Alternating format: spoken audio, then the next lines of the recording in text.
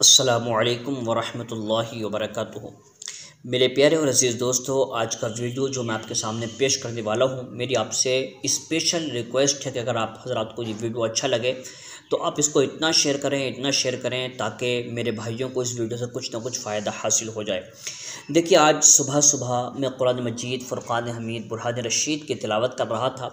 تو سور بقرہ آیت نمبر بیس کے اندر ان اللہ علی کل شعین قدیر کے بارے میں سوچ رہا تھا کہ اچانک سے میری نظر کے سامنے سے ایک ویڈیو گزرا۔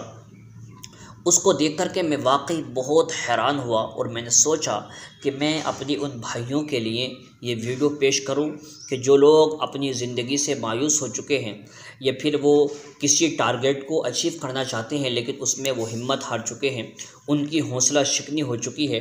تو میں نے آج اس پر کچھ لکھنے کی کوشش کی ہے اور یہ خود میں نے لکھا ہے۔ میری آپ سے گزارش ہے کہ اگر آپ حضرات کو میرا یہ لکھا ہوا یا پھر یہ میری کوشش اگر آپ کو کچھ پسند آئے تو آپ میری حوصلہ افزائی کے لیے ایک لائک ضرور کر دیں۔ دیکھیے، آج میں آپ کے سامنے ایسا ویڈیو پیش کرنے جا رہا ہوں کہ جس کے ذریعے آپ کو اتنا حوصلہ ملے گا کہ آپ مایوسی کو ہمیشہ ہمیشہ کے لیے بھول جائیں گے۔ یاد رکھیں کہ زندگی نام ہے نشیب و فراز کا یعنی اتار چڑھاؤ۔ کبھی خوشی، کبھی غم۔ مگر انسان جب بہت زیادہ خوش ہو جاتا ہے تو وہ اللہ کو بھول جاتا ہے۔ اور جب وہ غم میں ڈوب جاتا ہے تو اللہ سے شکوے کرتا ہے اور شکایت کرتا ہے۔ حالانکہ میرا اللہ ہم پر ہمارے ماں باپ سے بھی زیادہ مہربان ہے۔ وہ کبھی ہم پر ظلم نہیں کرتا۔ اگر ہمارے لیے ایک دروازہ بند کر دیتا ہے، تو پھر ہمارے لیے ستر دروازے کھول دیتا ہے۔ لیکن انسان اس پہلے دروازے کے بند ہوتے ہی مایوسی اور احساس کمتری کا شکار ہو جاتا ہے۔ کاش اسے اللہ کی ذات پر مکمل اعتماد، بھروسہ اور تیقن ہوتا۔ کبھی کبھی ہمارے ارد گرد اتنی تاریکیاں یعنی اتنا اندھیرا بڑھ جاتا ہے کہ ایسا محسوس ہوتا ہے کہ اب کبھی سحر نہیں ہوگا، اجالا نصیب نہیں ہوگا۔ لیکن ایسے حالات میں ایک جگنو بھی اگر نظر آ جائے تو پھر سے امید بند جاتی ہے۔ یہ امید ہمیں جینے کا اور کوشش کرنے کا حوصلہ فراہم کرتی ہے۔ اللہ وہ طاقت ہے جو چاہے وہ کر دے۔ ان اللہ علی کل شعین قدیر، بے شک اللہ ہر شے پر قادر ہے۔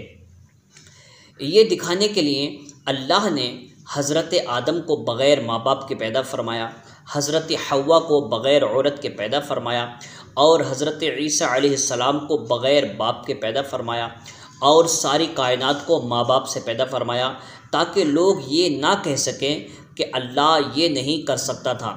اس لیے میرے اللہ نے تمام کی زبانوں کو بند کر دیا۔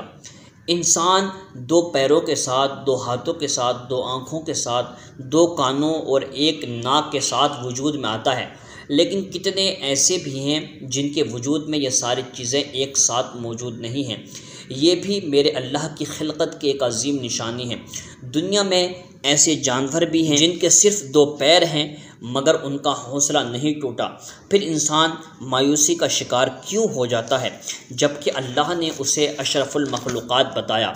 آج میں آپ کو پانچ ایسے جانور دکھانے جا رہا ہوں جسے دیکھ کر آپ کو اللہ کی طاقت کا بھی یقین آئے گا اور آپ کو اپنے حوصلوں کو پورا کرنے کی طاقت بھی ملے گی۔